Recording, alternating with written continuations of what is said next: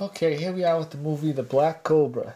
Um, Fred Williamson and Carl Landry. Land- well, you get it, Landry. Landry. Whatever. Um, so we're gonna look at this now. I don't know. I haven't know. I haven't watched. I've seen this guy a couple of times, but I haven't seen him quite often. This is 96 minutes, a 1990 movie, and what's it rated? Um, it doesn't say. Not rated. It says so. We all know this is probably you know reality and R-rated movie. You open it up here. This is an old film. You can tell. Look, at the reels on it are not the normal VHS reels that you would look at, but they all play in the VCR just like anything else.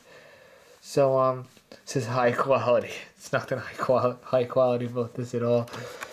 Um, it wasn't a rental. It doesn't look like or anything, but it's a very old film, so it's gonna look different. Um, it does look like it was not rewinded. There's still some tape on this side. I don't know if you can see it, but I can. And um, that's that. So if you want to um, know, I have a actually have a few other tapes like this, but a couple of them were from the flea market, and some were from people that recorded stuff in my family in the early 1990s. So um, I know what these tapes look like. All right. Bye bye.